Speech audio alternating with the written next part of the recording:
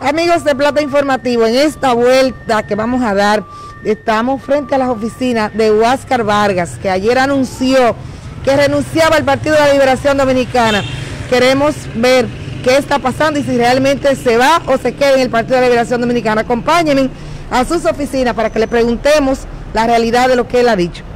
Aquí estamos llegando a las oficinas de Huáscar Vargas, que ha dicho que renunció al Partido de la Liberación Dominicana. Vamos a ver para dónde se va, con quién se queda y qué va a hacer. Aquí vamos llegando ya a las oficinas de Huáscar para preguntarle, vamos a ver, para preguntarle, hello, hola, Huáscar, ¿cómo tú estás? Esto es un asunto en vivo, te lo tengo que decir. Una sorpresa, ¿eh? ¿Cómo tú estás? Eh, nos enteramos ayer de que tú estabas renunciando al Partido de la Liberación Dominicana y que quisimos venir para preguntar qué está pasando. Sean bienvenidos, adelante. Gracias. Estamos ya, como ustedes pueden ver, a la oficina de Huáscar y con él vamos a conversar de este tema que le interesa a la población de Puerto Plata. Me siento, Oscar. Claro, adelante, es tuya, el despacho es tuyo. Gracias. Vamos aquí, vamos aquí. Ayer vimos en algunos comentarios que tú te renunciabas al Partido de la Liberación Dominicana después de tanto tiempo, después de todo lo que se ha hecho. ¿Qué está pasando? Vamos a poner el micrófono aquí. Esto es en vivo, señores. Buenos días, pero como tú tienes la mascarilla, me voy a permitir, ¿verdad? Que te hable la mía Claro que sí. y, y poder conversar mejor. Eh, bienvenida, ¿verdad? Aquí a nuestro despacho. Perdóname que no tomamos el atrevimiento, pero bueno. No, no, es, es- es- propio, es propio. Bueno, sí, hemos decidido, luego de militar eh, 25 años en el Partido de la Liberación Dominicana, bueno, 25 años. 25 hace. años, sí, pues, prácticamente estamos hablando de que saqué cédula para, para militar en el PLD. Eh, realmente la mística y, y los principios de Juan Bosch eh, nos entusiasmó bastante. Y la política es en busca del bien común. Y yo creo que eh, el referente de Juan Bosch en la República Dominicana, su honestidad, su concepto y su principio, nos enamoró y, y en esa obra que él le dejó al pueblo dominicano, bueno, pues nos, eh, nos inscribimos y participamos con Raimundo Félix Pérez, fue el que me formó en un círculo de estudio. Y ya lo demás, lo demás es historia. O sea, eh, fuimos presidente de intermedio, luego a la edad de 22 años eh, hicimos una gran militancia dentro del Partido de la Liberación Dominicana, pero llegó un momento en que eh, nosotros como jóvenes queríamos eh, ¿verdad? seguir creciendo, desarrollando y dar lo mejor de nosotros. ¿Pero qué es, cuál es la razón por la que Huáscar se va del, del- del Partido de la Liberación Dominicana?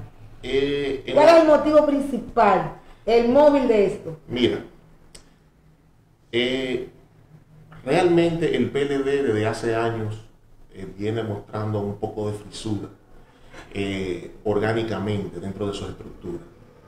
Yo mismo era tenía como presidente de intermedio como 20 años en la misma, en la misma posición. Entonces yo entendía de que el PLD tenía que ser, renovarse por completo. O sea, no es de que me ratifiquen, no es que me lleven por el dedo al comité central, no es que llevemos por el dedo a nadie al comité político, sino que existiera una renovación total, y más después de una derrota electoral. ¿No está de acuerdo con que alguna gente se haya señalado con el dedo del Comité Central? Eso es antidemocrático. En la modernidad política, la legitimidad es lo esencial. En un Estado moderno, democrático y de derecho, eh, la legitimidad es esencial. Todo tiene que ser legítimo. Todo tiene que ser en base a la participación y a la transparencia. El hecho de que ratificaran una parte, llevaran a la elección a una parte, para mí eso es totalmente ilegítimo No te gustó. realmente no lo comparto, no va con mi principio, no va con, con- con lo que he aprendido eh, sobre lo que debe de ser la democracia. Y realmente decidimos ¿verdad? dar, dar esa, esa, esa parada, ese stop. Claro está. Eh, allí dejo grandes hermanos, grandes amigos, personas que le tengo muchísima consideración, muchísimo respeto, gente que, que de mí lo que hay gratitud y, y creo que eh, toda la vida tiene Eh, se nace, se, crece, se reproduce y muere. La gente que maneja los comités intermedios, ¿qué cantidad de personas están manillando, por ejemplo? No, no, es que, es que ahora mismo lo del PLD, eh, bueno, eh, es algo totalmente incierto. O sea, allí, para mí, la democracia dejó de existir. También en un grupo que, que, realmente domina el partido ahora mismo, la intolerancia, la petulancia, la empatía, la, la, la, irracionalidad. En plena derrota, todas esas cosas eh, están en el partido. ¿Eh? En plena derrota, o sea, un partido. Aún todavía, yo digo, yo he dicho que todavía no despiertan del sueño, del té de tiro del poder. Yo creo que haber nosotros durado tanto tiempo en, en el poder, eh, todavía como que no despertamos de que estamos, de que estamos ya fuera del poder, que ya no podemos seguir eh, manipulando a las personas eh, por, un, por, un, empleo público. Y manipularlo de tal manera que yo escuchaba al distinto líder colombiano del Partido Liberal, Carlos Galán, que decía que lo manipula de un tal manera a hacer un servir de manera infame, de manera, de, eh, o sea, eh, llevándose la dignidad humana. Y lo más grave, o no lo más grave, sino algo grave, que es también que atropellan la libertad de expresión. O sea, en el PLD ya tú no podías de sentir, porque si tú planteabas una idea diferente, bueno, pues tú eras de Lionel, o tú eres un renegado, o tú quieres irte del partido. Entonces ese prejuicio tan grande, tan amplio, realmente yo creo que no va con la mística del profesor Juan Bosch, porque Juan Bosch nos enseñó a nosotros a hacer autocrítica y crítica y respetar la disidencia, aunque sea minoría. Pero en el PLD no se quería, o sea, ya en el PLD no se quiere respetar lo que, se lo que piensa la minoría, porque ya esa persona automáticamente es un leonelista. Eh, Oscar, entonces, al final de cuentas, se va del PLD por entender que la parte más que lastima de esto es la gente que se eligió con el dedo en el comité central. Se impuso, exactamente, se impuso la dedocracia, se echó a un lado la mística del profesor Juan Bosch, la hermandad, ya, los PLD, ya en el PLD nadie quiere a nadie. Ahí hay una malquerencia. Si tú piensas diferente y distinto, lamentablemente te gana enemistad, te gana insultos. Y yo creo que eso conmigo no va. Yo creo que si vamos a seguir participando en política, tiene que ser en un marco de tolerancia, de, respeto y de democracia. Entonces, esa democracia, lamentablemente, tampoco la comparto para yo militar en un partido así. Voy a militar en un partido donde se respete la democracia y la transparencia y la participación. ¿Para dónde nos vamos? Para la fuerza del pueblo. Definitivamente. Para la fuerza del pueblo. Para la fuerza Empezar de cero. Para la fuerza del pueblo porque sigue siendo algo que te rememora o te recuerda el Partido de Liberación Dominicana o porque es el vecino más próximo o porque tú no cabes en el gobierno de, la actualidad. Eh, me voy a la fuerza del pueblo porque siento que allí vive está la mística del profesor Juan Bosch.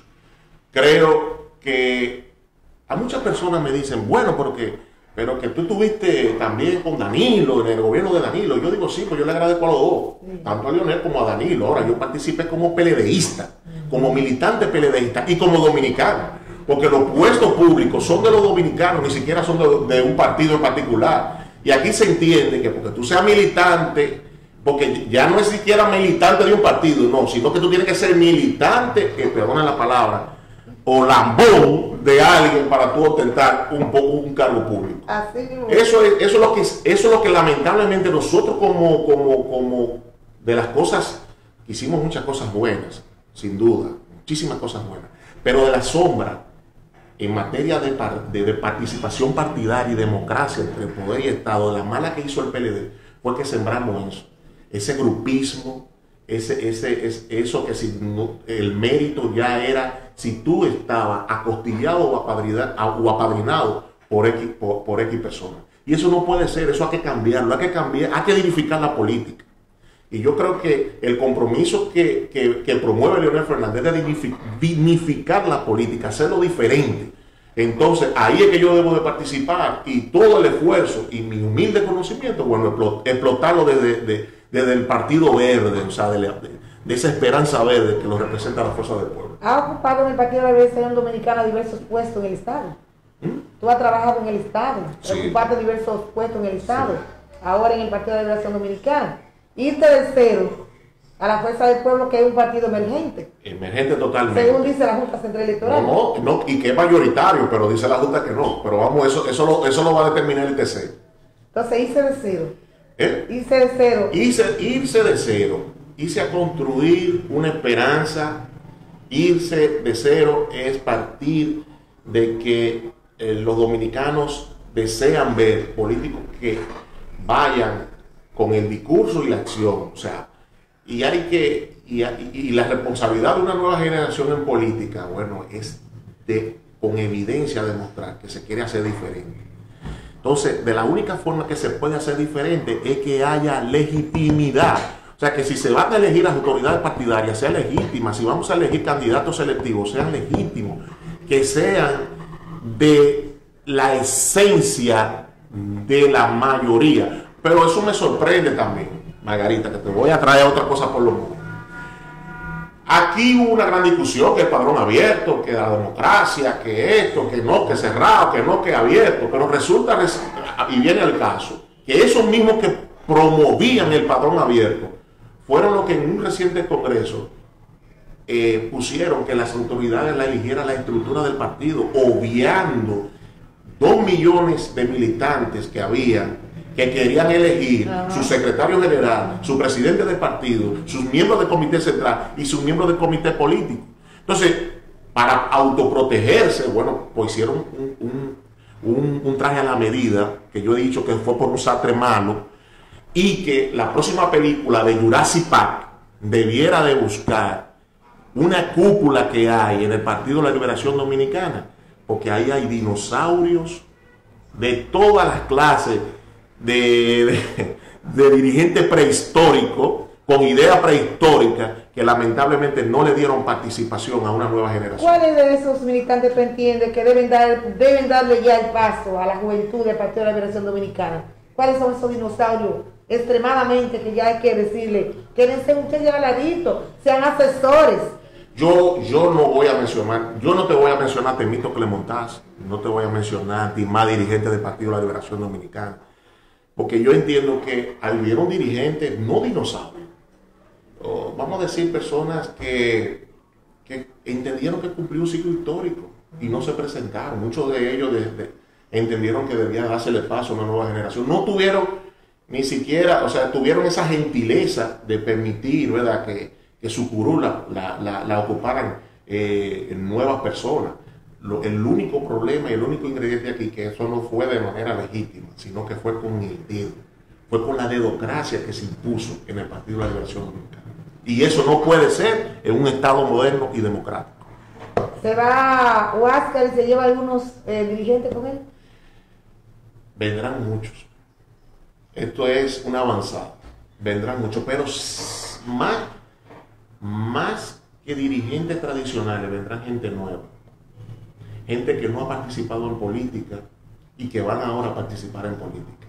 Y van a participar en un partido moderno, adaptado a, lo que tenemos en República Dominicana, que es un Estado social, democrático, de derecho. Hacia allá es que debemos de fortalecer la República Dominicana. Hacia allá es que nosotros tenemos que impulsar el país para el respeto de los derechos fundamentales y para el, y para el el, ejercicio de la maquinaria del poder lo haga correctamente, apegado al principio de la buena administración. Vamos a darle un mensaje a la población, a esa gente tuya que está ahí. no, que realmente me desprendo de la obra del profesor Juan Bosch que construyó por entender que, que el ciclo histórico se cumplió. Pero eh, mi gratitud y muchas cosas bonitas que viví dentro del Partido de la Liberación Dominicana estarán ahí. Eh, en mi corazón me llevo de verdad eh, muchos amigos, muchos hermanos, que, entiendo y espero que respeten y comprendan mi decisión, pero esa es la democracia. Eh, el PLD construyó muchas cosas importantes, sus, sus gobiernos, entiéndase, Leonel Fernández y Danilo Madina, pero eh, el momento de partir ha llegado, llegó la hora, llegó la hora de presentarle a la República Dominicana una opción diferente, eh, principios y conceptos diferentes, más modernos, adaptados a la modernidad política, lo que sigue la modernidad política, que es legitimidad, participación, transparencia, que ya aquí las cosas no se hagan en un cuarto ni se ponga con un dedo. Estaremos militando en la fuerza del pueblo, con gallardía, con responsabilidad y con respeto, y con humildad. Vamos a contribuir y aportar para el desarrollo y el progreso de Puerto Plata y de la República Dominicana. Se fue Oscar Vargas al partido de, de Dolores Fernández, se fue con Leonel, ya ustedes saben, se fue con Leonel, el hombre se fue porque no le gustó el asunto de el dedo, la dedocracia. Nos vemos señores, esto es eh, una producción de Anthony González y Nando Fortuna, Margarita Bien en este espacio. Gracias, Oscar. Gracias por recibir tu oficina. Gracias por la por venir de la manera que lo hicimos. Gracias por, la, eh, por, por permitirnos participar y, y mi oficina está abierta. Muchas gracias.